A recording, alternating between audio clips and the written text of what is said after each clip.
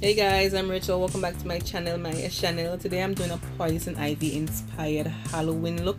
This is just in time for all my last minute Halloweeners out there. Just using stuff that's in your closet or in your makeup collection, your wig collection, whatever it is, is very inexpensive and just in time for Halloween.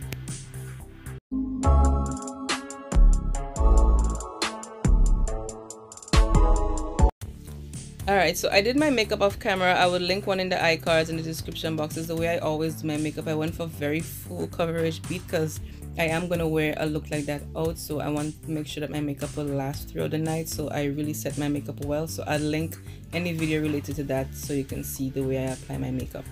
Now I'm starting with Juvia's Place palette and I'm using the color Zora. It's a burgundy reddish color. I don't want to go too red with my brows and I'm going to fill in and line my brows with that.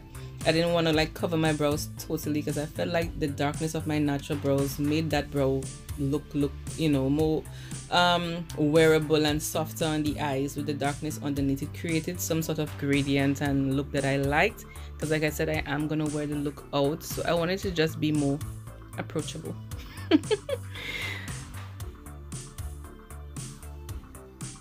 next i'm just gonna spoolie that through so that there are no patches because this is a totally different color from my natural brows. So i just want to make sure it's smooth. Then i'm going in with the color wake and bake from morphe and james and sorry morphe and uh, jeffree star palette. And that's gonna be my transition shade. And I'm gonna apply that in my crease and blow it out pull it out to the tail of my brows because I want it to be more like a cut crease and just a little more dramatic to the tail of my eyes. I did forget to show the color, but I will show it later on in the clip. As you can see, it's that green that I just used. Then I'm taking um, Jaclyn Hill and Morphe Armed and Gorgeous palette. I'm using Top Secret and I'm going to apply that to the outer V of my eyes and basically do the same thing but I'm just concentrating the color to the outer V and I'm going to pull it out again to the tail of my brows and bring the excess inwards closer to the inner corner of my eyes. i will be using a couple palettes. I'm sorry, um, but these were the palettes that had the look, the colors that I wanted for the look that I'm trying to create. So I will list them all in the description box. So be sure to check the description out. So I'm just applying that color until I am satisfied with the way it looks and with the pigment.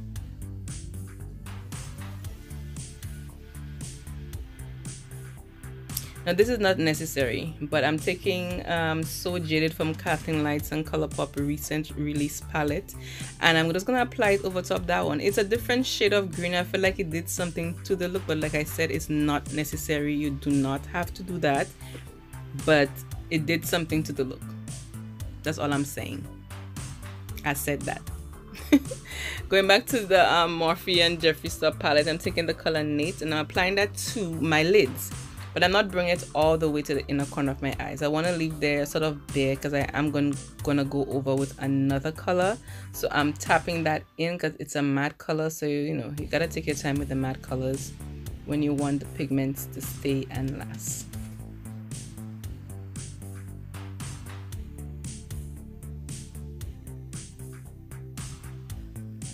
Taking period back to the So Jaded palette from Kathleen Lights and Colourpop and I'm applying that to the inner corners of my eyes. The reason why I left it there. And then I'm going to go over that Nate color from Jeffree Star palette and use um, Emerald from Kathleen Lights palette again. And I'm to tap that over it. I just felt like it was necessary for a little bit of glitz and glams and shimmer. The look needed it. So that's why I'm doing that. And I'm just to mesh everything together so that it's well blended and we have no harsh lines. I'm basically using the same colors as my transition colors underneath. I'm going to use that um, Wake and Bake color from the Jeffree Star palette and I'm going to apply it low underneath my eyes and connect it to the outer V of my eyes and bring it all the way up to the tail of my brow like I was doing earlier and deepen that with the Top Secret color from Jaclyn from the Jaclyn Hill palette and I'm going to buff it and blow it out.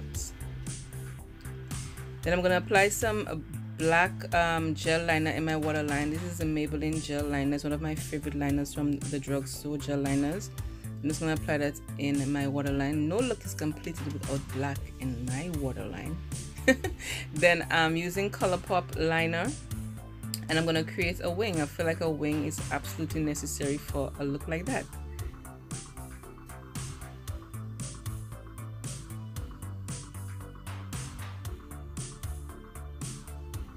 Now I'm gonna go back to the face and I'm gonna contour my face using the greens that I use in my crease. But I'm using the Wake and Bake color from um, that I use in my transition, but I felt it was looking a bit muddy. So you'll see I went in with um, Social Blade from um, James Charles and Morphe palette. It's of a deeper green sorry of a lighter green yeah that's what i'm doing here and i'm going over it just to make it look less muddy it turned out all right in the end but i just still feel like it looked muddy i wanted it to be I don't know, a different green. I don't know. Maybe I'm just OCD. but that's what I'm doing right here. Then I'm taking my current favorite highlighter. It's from Juvia's Place. I'm applying that to my nose. I'm also going to apply some of that to my cupid's bow. And I'm also going to put some of it to my chin.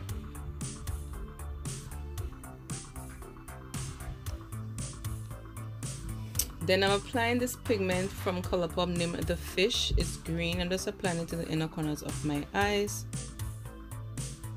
Then I went ahead and applied lashes from Ardell. I feel like this look needed some lash with a little Vava Voom. So it's some um, mink lashes and they're pretty heavy, not like I use every day, but this look needed it. Then I'm gonna um, fill in my lips, line and fill in my lips with this liquid lip, um, lipstick from Sephora in um, Always Red. And I sort of overlined my lips a bit and I did get messy. So I went in and cleaned that up with some concealer. You know, I feel like red lips should always be sharp unless that's not the look you're going for. But I'm just cleaning up the edges so that it's neater. Then I took the color The Bull, another pigment, and I'm applying that to my forehead and I'm going to apply to the tops of my cheek as well and just a little underneath the middle of my eyes you'll see that. And it i just felt like you needed that. I needed that for the next step that i'm about to do that you will see. So you know it's a pigment and it added a little extra something to the look. And i went over with a larger blush to just you know blend it in so it's more diffused. Here is the magical part I'm so excited. I'm using rhinestones, red rhinestones, and I'm going to apply that sporadically on my forehead, creating a pattern that, you know, I'm a nail tech. Okay, I will leave the link to my social media in the bottom to check out my work. But that's what I use to apply my stones. I use um, a wax stick and I'm using um, lash glue. It's black. If you have one that dries clear will be better but that's what i had on hand and i wasn't going to buy a new lash glue just to do that. I did a look like that one time and I did wear it out and the glue held on really really well. So I'm just sticking it um, different places. Like I'm using different sizes. There's no rhyme or rhythm to it. I'm just using different sizes and creating a pattern that I feel like looks good in my head So I'm applying the glue first because the glue does take about 30 seconds to dry and then I'm sticking different sizes um, on my forehead. That's the reason why I applied that um, pigment underneath. I felt like it would do something extra for the look. I'm also going to apply some underneath my eyes as well. The same thing, I'm just using different sizes. Again, plug in I am a nail tech. Check my work out, book me. And you can find these wax sticks on Amazon I also buy them in the beauty, um, the nail supply store when I actually go to get products and things like that. They make picking up Swarovskis and crystals way easier. I'm gonna apply one in the inner corner of my eyes as well. then on the tops of my cheekbones. Like I said, I'm just creating a pattern like what I see in my head.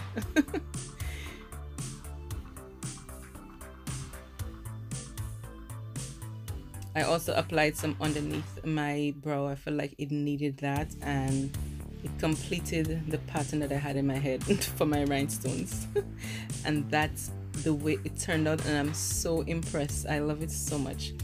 Now it's time for the star of the show, the wig. I bought this wig from Amazon. I'm just gonna fit it on my head, adjust it until you know it looks the way I want it to look. It's a side part it's um i paid like $20 or something for it you know um it's synthetic I'm gonna comb through it remove any tangles and any knots and just play with it fluff it style it you know do something with it until I feel like I'm comfortable with the way it looks on my head I also wore black. I know Poison Ivy wears green, but like I said, this look is inspired by Poison Ivy. It's not a total Poison Ivy look. So that's just my vision of it. It's simple. Anybody can do it with anything in your closet like i said earlier. Um so yeah so that's the look. So thank you so much for watching. And if you haven't subscribed please subscribe like comment share hit the bell all that good stuff. Give me a thumbs up and i'll see you in my next